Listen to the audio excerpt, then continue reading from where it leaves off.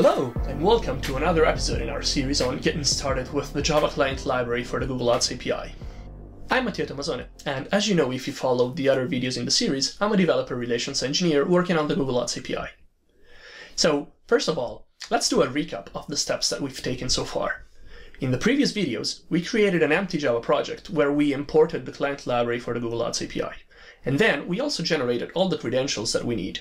So now it's time to combine these two ingredients together so that our project can use the credentials we generated to authenticate to the Google Ads API. There are a couple of different ways that we can use to configure our credentials for usage in a Java project. The first one we will see is to store them in an ads.properties file in the home directory of your machine. As you can see here, I already have a file named ads.properties in my home directory, and inside it, I can put all the credentials needed for my project, like the developer token, the OAuth client ID and client secret, and a refresh token.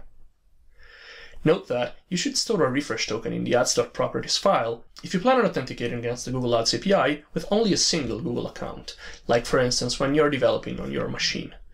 If your application needs to authenticate several different users against several different Google Ads accounts, you will likely store the refresh tokens associated with each of these accounts in a place like a database and use the right refresh token according to the Google Ads account you want to authenticate to. In case you are using the OAuth service account flow, you can still put the required credentials in the ads.properties file.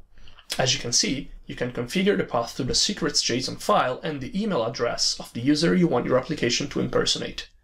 I have them commented out because I'm not using the OAuth service account flow here. Finally, the last configuration property you can see here is the login customer ID that defines the Google Ads Manager account that you want to use to manage the customer accounts from your application. As we said, using the ads.properties file is the option we suggest to configure your Java projects when developing on your machine. However, there may be cases where you don't want to have a file in your home directory, or maybe you don't even have access to the home directory of the machine, such as when your application is deployed in a cloud environment, for instance. In cases like these, you can still configure your Java application using environment variables.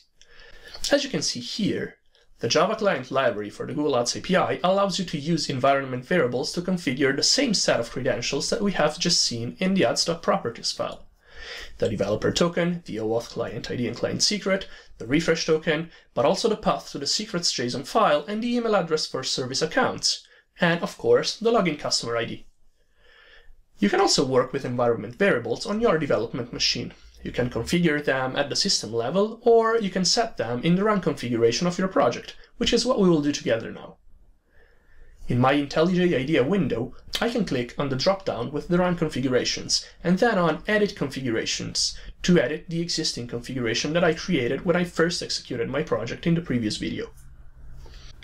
Here, I can add the environment variables I need, by clicking on the button next to the environment variables field, I can see the ones that are already configured at the system level and add my own, specific for this project.